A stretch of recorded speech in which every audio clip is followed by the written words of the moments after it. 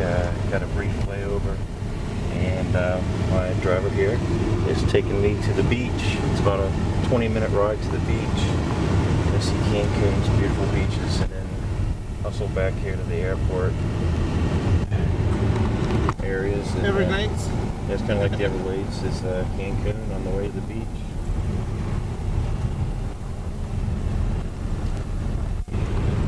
Yeah, uh, right there. Yeah. The hard, the dark part, is this is the part you just get killed for Wilma. Okay, this, is Cancun. Wilma, of course, hit here four years ago and devastated the place. Look at the trees. They replanted and regrown. Uh, the trees are all small, though. Uh, only had about two or three years to grow. Four years since this happened.